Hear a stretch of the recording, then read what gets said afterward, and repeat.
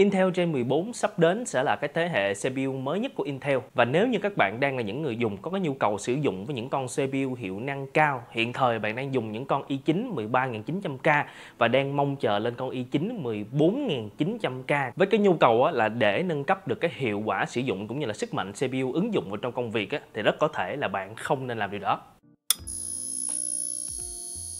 Hiện nay thì đã có rất là nhiều những cái tin leak liên quan tới cái chuyện là hiệu năng thực sự của những con Intel Gen 14 đã là như thế nào cũng như là thông tin liên quan tới cấu trúc của con CPU nó sẽ có bao nhiêu nhân mạnh, bao nhiêu nhân yếu thì các bạn cũng đã có thể thấy được ở trên internet rất là nhiều. Và như các bạn đang thấy ngay tại đây mà đang đưa cho các bạn một cái bảng so sánh tóm tắt thì nếu như các bạn nhìn trực quan vào trong con i9 14900K sắp đến và con i9 13900K các bạn sẽ thấy về cái cấu trúc CPU á, nó sẽ không có khác gì nhau cả. Số nhân P-core và số nhân E-core nó đều tương đương như nhau. Họa chăng mình nghĩ là nó sẽ có thể tối ưu hơn về điện hoặc là một chút xíu gia tăng về xung nhịp mà thôi. Cho nên là nếu như các bạn đang có những cái con CPU top đầu của Gen 13 và đang kỳ vọng là nâng cấp lên những con CPU top đầu của Gen 14 thì chắc chắn là không nên. Và chính Intel họ cũng đã có chia sẻ rằng là đối với Gen 14 nó chỉ đơn giản là một phiên bản nâng cấp nhẹ, chứ không phải là một cái phiên bản mà nhảy vọt về hiệu năng. Giống như cái đợt mà các bạn thấy là từ con Intel Gen 11 lên Gen 12 là nhảy vọt về hiệu năng. Chẳng hạn là con i5 11400 rồi lên con i5 12 2400 á, là rất khác biệt đúng không? Hay là con i9 11900K lên i9 12900K là rất khác biệt. Lên tới cái bước chuyển từ Intel Gen 12 lên Gen 13 nó cũng là một cái bước chuyển dành cho những con CPU dòng cao. Nhưng mà hiện nay á, xét về Gen 13 lên Gen 14 á, thì nó không phải là như thế. Thông tin này á, thì thật ra là mình không cần chờ Intel nói mà trước đó mình đã biết về cái thông tin á, là LGA 1007 vẫn là cái socket mà Intel họ giữ trên Gen 14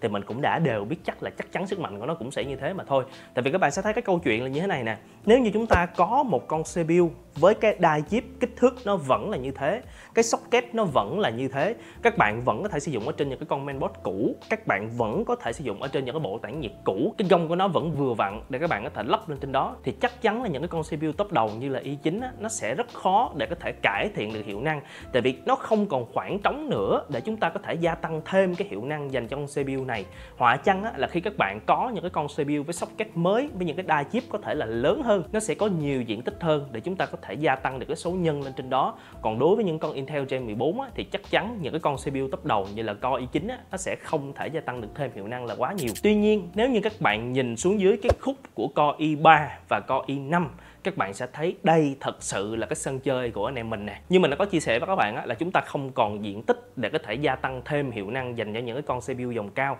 Nhưng mà những con CPU dòng thấp những cái con CPU giá rẻ hoặc là trung cấp á, đương nhiên là nó vẫn còn rất nhiều khoảng trống. Thì nếu như bây giờ các bạn nhìn vào một con Core i3 đi i3 14100 thì ngay bây giờ chúng ta đã có một con CPU i3 với 6 nhân xử lý và 12 luồng. Và nếu như các bạn tương quan về chính con i3 thế hệ thứ 14 á, nó sẽ mạnh tương đương với một con i5 thế hệ thứ 12 và cụ thể ở đây là con i5 12400 các bạn sẽ thấy á là cái số nhân số luồng hiện nay á nó đã tương đương nhau luôn rồi. Tức là một con i3 đời mới hiện nay nó cũng đã mạnh ngang với một con i5 đời cũ. Mà trong khi đó, trước đó nhà mình làm một cái video để nói về con i5 12400 á, là cái con CPU mà có B trên B tốt nhất hiện tại. Đó là cái quan điểm của mình. Nhưng mà hiện tại các bạn nhìn vào con i3 đây, chúng ta đã thấy đó là một cái con CPU dòng thấp nhất của Intel nhưng cũng đã mạnh với một con CPU trung cấp luôn. Cho nên là một cái bối cảnh rất tuyệt vời là các bạn nằm vẫn đang chưa có PVC các bạn vẫn đang chưa có những cái máy để chơi game, hoặc thậm chí là các bạn chưa có những cái máy để làm việc luôn. Thì các bạn nên chờ tới những cái con Intel thế hệ thứ 14 và đập tiền vào trong những con CPU dòng thấp của họ